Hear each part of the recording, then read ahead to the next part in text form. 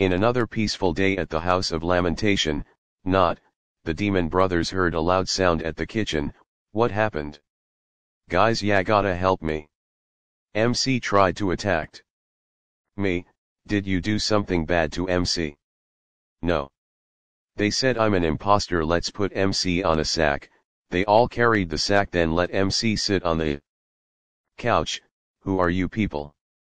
MC grabs a knife, quick grab a rope, they tied MC on a chair, MC what happened to you, how do you know my name, and where am I?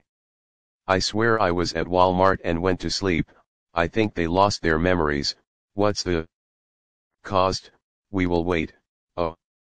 We are your family, never saw you guys in my entire life. And why do I became friends with demons, hmm.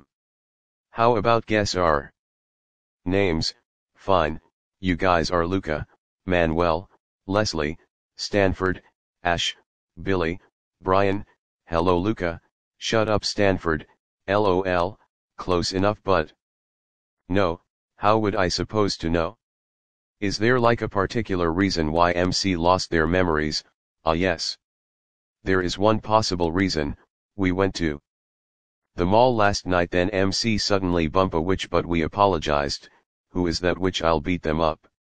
I'll go Oswell, chill everyone, what are those demons talking about, my family is Catholic if they find out I'm hanging out with this demons I'll get killed for sure, aha. Find a way to bring back their memories, we smash MC's head, no. We recreate the most memorable memory of MC, et. Eh. How will we know about that?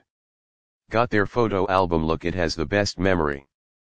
Section, thank goodness MC is organized, hell I am Luca, everyone went silent, seriously we will recreate that.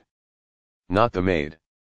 Outfit again, we have no choice, everyone wear the maid outfit, Moe Moe Kyun, what on mother of mercy.